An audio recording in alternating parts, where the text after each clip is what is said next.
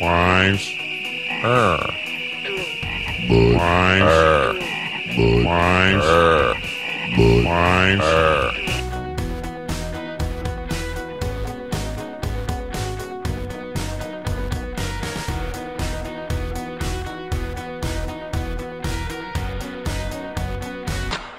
Hello?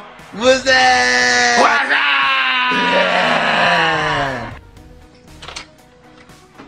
Yo. What's that? What's that? What's that? That's a swear jar. Every time someone swears, you put a quarter in it. Who gets the money? I don't know. We'll use it to buy something for the office, like a case of Bud Light or something. Fucking awesome.